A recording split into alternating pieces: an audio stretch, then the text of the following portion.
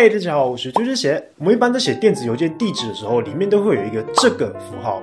但你知道它是从哪里来的吗？早期台湾有很多人会叫它小老鼠，因为它一条很长的笔画，就像是老鼠的尾巴一样嘛。但是它正确的念法是 at，就是英文 at 的意思。那它为什么会长这样子呢？其实目前有据可考的，最早出现 at 这个符号的是在一三四五年的一份马拿西编年史的保加利亚翻译文本中发现的。不过呢，根据语义，这个符号在当年其实不是用作 at 的缩写，而是 amin，也就是英文 amen 的意思。神奇的是呢，这个符号在接下来的两百年之内完全没有再出现过了。历史学家也不知道到底这中间有没有人用过这个符号。而关于 at 这个符号的由来，其实还有很多说法。其中一种说法认为，这是中世纪时期的僧侣在复制经文的时候，为了节省时间而发明出来的一种缩写。它可以用来代表 at、toward、by、about。但目前这种说法呢，没有大量的文献可以来做证明。会这样子想，其实是因为另外一个符号 and，and 这个符号其实是拉丁文 and 的缩写，代表 and 的意思。你看它其实就是一个 e 跟 t 写在一起而已。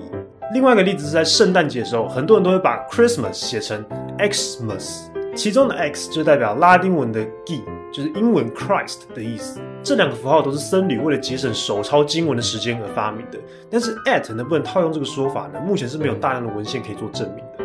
到了两千年的时候，考古学家在一份一五三六年的佛罗伦斯商人书信里面，发现了他大量使用 at 这个符号，用来当做一种度量衡的单位。这个单位是一罐的意思，容量大概是十三分之一木桶。这个罐子呢是一种双耳罐，英文是 amphora。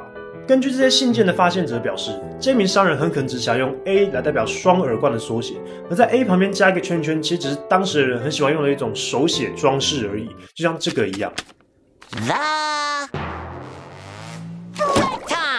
而他继续推论，很可能就是这些意大利商人在写收据的时候，顺便将这个写法给推广出去的。事实上，早在电子邮件出现之前，人们早就把这个符号拿来做商业用途了，大多是用来标注价格。比如说，twenty six bags of flowers at one dollar，这代表如果你一次买二十六包面粉的话，那一包就是一块钱，所以总共二十六块钱。这也是为什么 at 这个符号最一开始会出现在电脑键盘上的原因，是因为商业上的普遍使用，是后来发明电子邮件的人选用了这个符号而已。至于为什么会选用这个符号放进电邮地址里呢？根据 email 的发明者表示，他打算找一个能够区分使用者名称和主机 host 的一个符号。他想找一个平常相对很少使用，又绝对不会出现在人名里的一个符号，而且这个符号呢，在他当年所使用的作业系统里面，并没有什么特别的意义，所以他最后呢，就选用 at 这个符号，就一直被沿用至今了。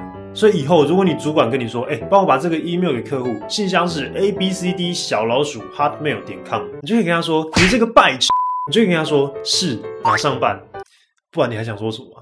好，这次影片就到这边喽。如果喜欢这支影片的话呢，不要忘下一个赞。想要更多的话，就欢迎订阅，然后顺手按下旁边的小铃铛，或是点击荧幕上这些框框也可以。